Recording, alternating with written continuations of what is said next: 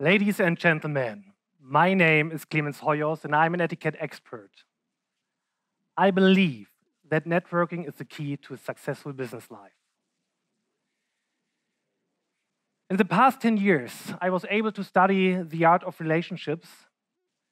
And especially in the business world, I observed how relationships started, how they grow and deepened, how they last over years, maybe over decades, or how they just ended and failed.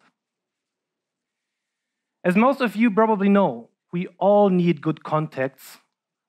We all need a, need a great networking system which have, uh, helps us to thrive, to grow, to be successful. In every group, there's this one guy who knows everybody, who seems to know just the right kind of person for any kind of problem. It's like, hmm, I need a good dentist. And he's like, oh, I just know it's the right one for you. Or, hmm, I need a good housekeeper. And he answers, oh, I just know the right one for you. Or, a little bit more challenging, I need a really good babysitter for my baby turtles. And he answers, oh, I just know the right one for you. Wait, what? How is that even possible? How can he know all those people? And just like we sometimes need a dentist or a housekeeper or a babysitter, as in our private life, also as professionals, we are always looking for someone who can help us to thrive, to grow, to be successful. Hence, I was wondering why some people are very successful when it comes to networking and why others seem to fail.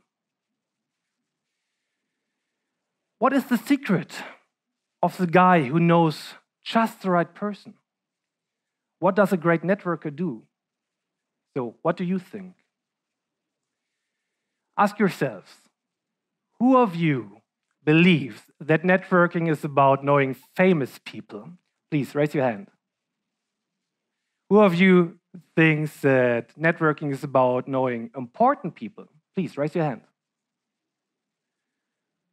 Who of you thinks that networking is about knowing powerful people? Please raise your hand. All right, thank you. I don't. I don't believe that your ideal network is based on people who are famous or powerful or important. Why? Those relations aren't fruitful if they lack reliability or trust. Think about it.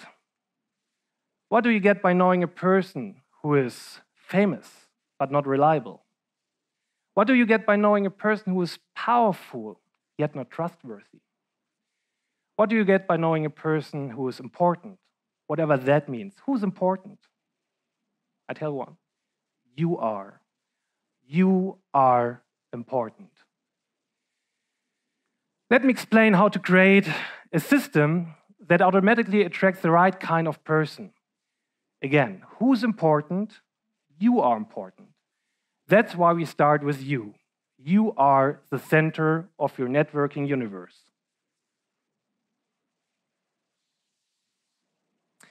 Networking is gravity.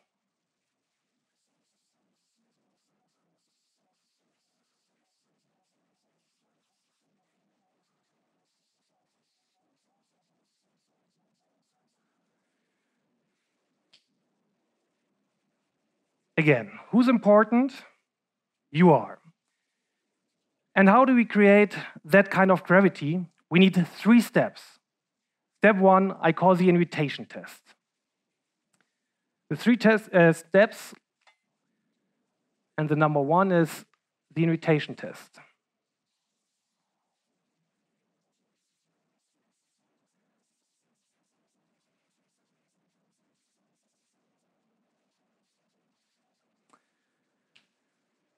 What is the invitation test?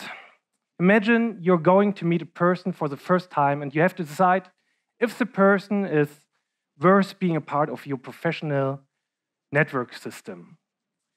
This is how you do it. You ask the person for a simple favor. For example, bringing the newspaper or being at a special place at a certain time.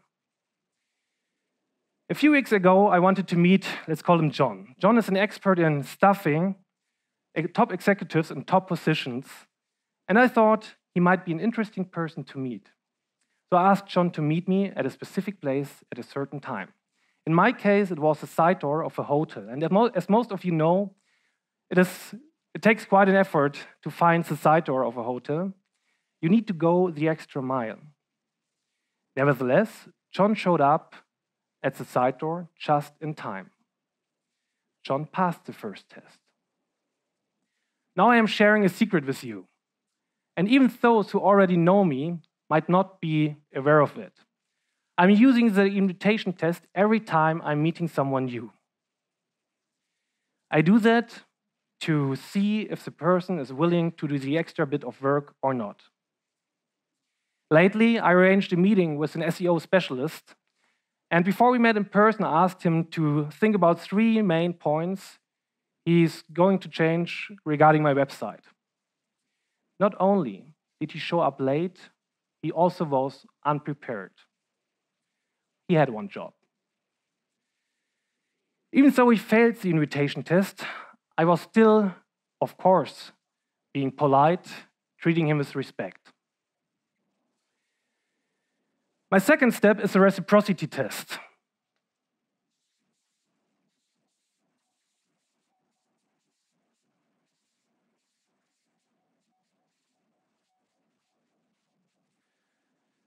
How does the reciprocity test work?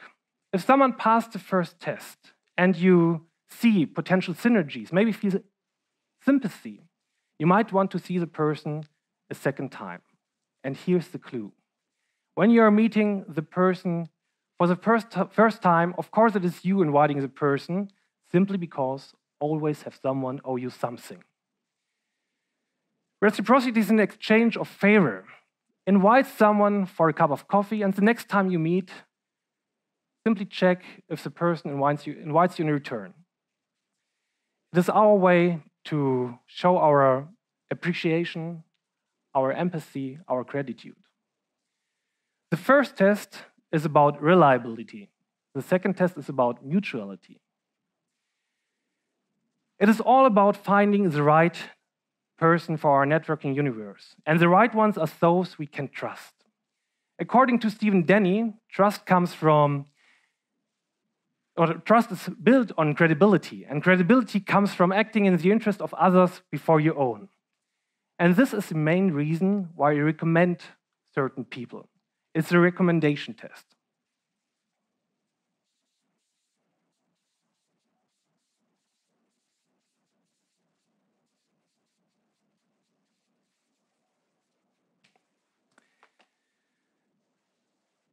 Why?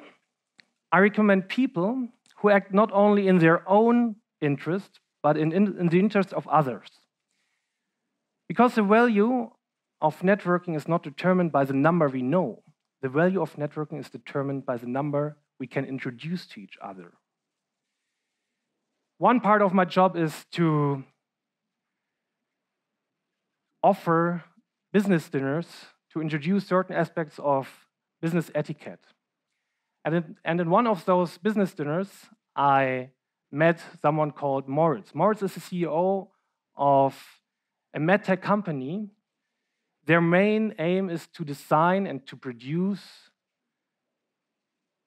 great medical prostheses. A few weeks later, I met Robin giving a training at one of the universities I'm working.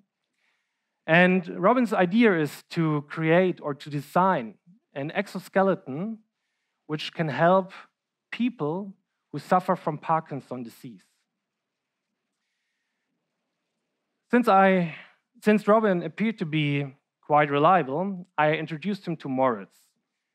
Since then, both are working together to create that great medical device which helps Parkinson, people with Parkinson's disease. And for me, that's the main aspect of networking.